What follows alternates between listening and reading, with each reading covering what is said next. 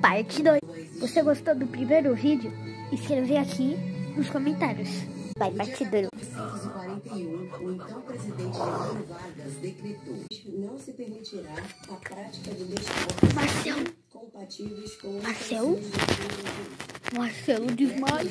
Gente, eu vou ficar por, por aqui. Ai, meu, como é que você conseguiu ser desse mundo? Jornais Você é... Aham, é claro que eu sou real. Por que, você não visitou a gente? Mickey Mouse! Ah, eu tava cuidando do Pluto. Ela estava doente.